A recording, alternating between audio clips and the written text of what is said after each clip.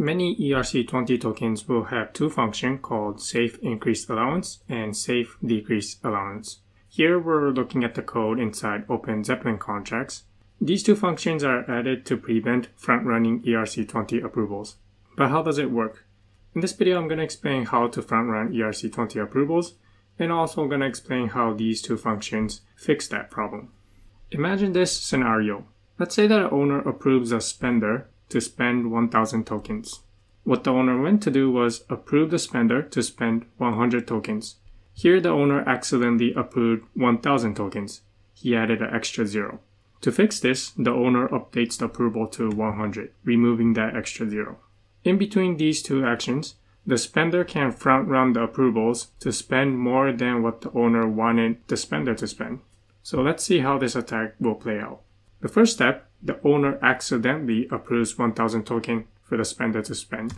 Next, the spender will front run the owner's approval. The owner wanted to update the approval to 100. The spender is gonna front run this transaction over here. In step 1, the owner approved this spender to spend 1000 token.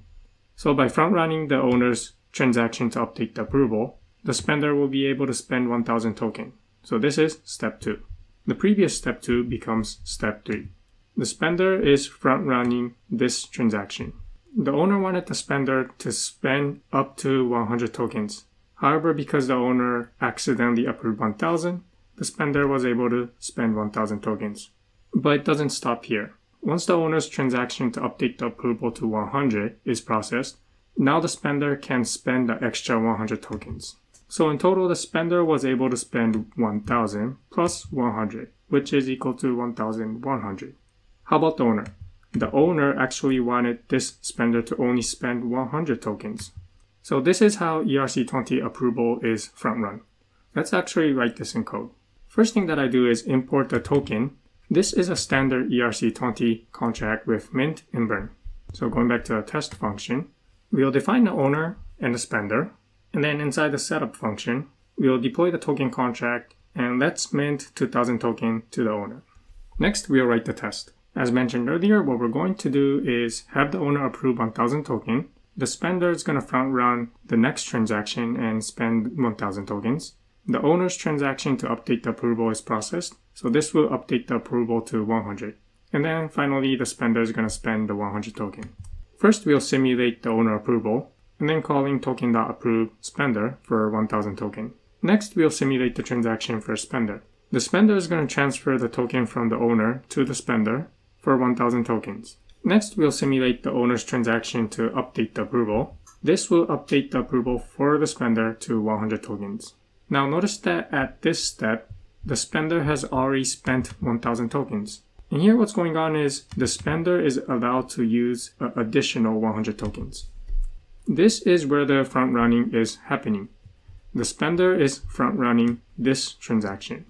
And lastly, once the spender gets an additional 100 tokens to spend, he will transfer that from the owner to the spender. Let's console log the balance of the spender after this front running. For the setup, I forgot to declare the token state variable. So say token private token. Okay, let's try compiling this contract. Inside my terminal, I'll type forge build. Okay, the contract compiled. Let's try running the test. Forge test dash vvv and the test passed, and notice that the spender balance after the tag is 1100. The owner wanted this spender to only spend 100 token, however by front running the approval, the spender was able to spend 1100 token, an additional 1000 tokens.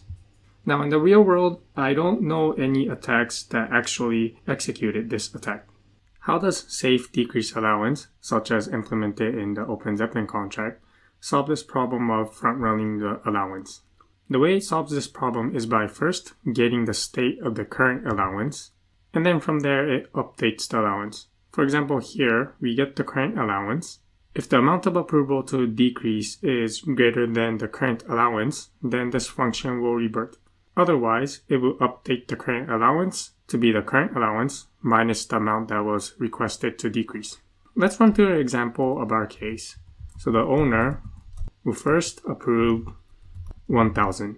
Next, the spender spent this 1000. spent 1000. So the current allowance is now equal to 0. Next, the owner's approval transaction to update it to 100 is processed. So say owner approve 100. Let's examine what happened to this code when this transaction is executed. The current allowance is 0. The owner is requesting to decrease the current allowance by 100. But what happens? Current allowance, current allowance is 0 and the requested amount to decrease is 100.